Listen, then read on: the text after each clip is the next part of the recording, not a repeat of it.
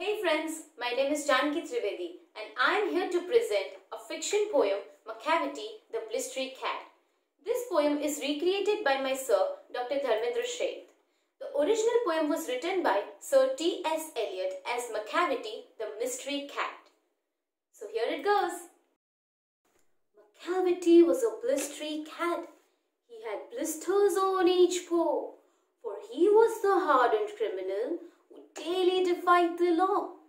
Police, people, detectives all tried, but tried in vain.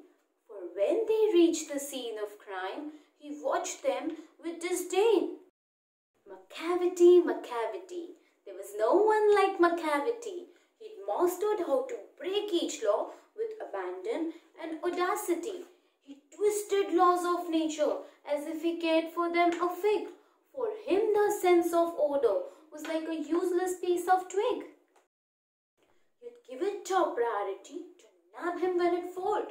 You would search him in the hole, you would hunt him in the world. He would hide behind a barrel or he would lose himself in the attic.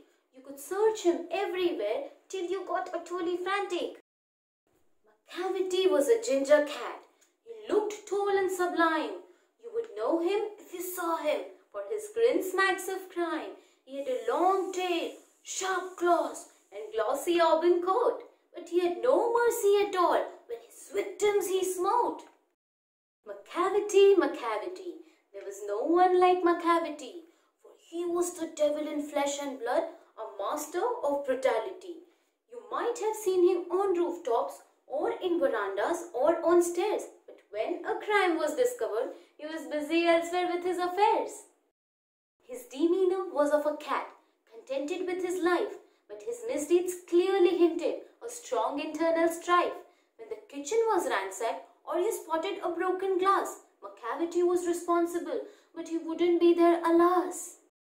When there were smudges on paintings or scratches on your walls, or clothes ripped to shreds and mud on your shawls, for sure it was Macavity who had just finished his deed and run away slyly as wily he was indeed.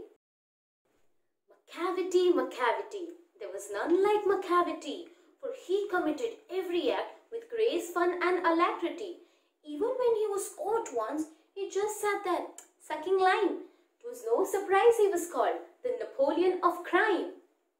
Thank you.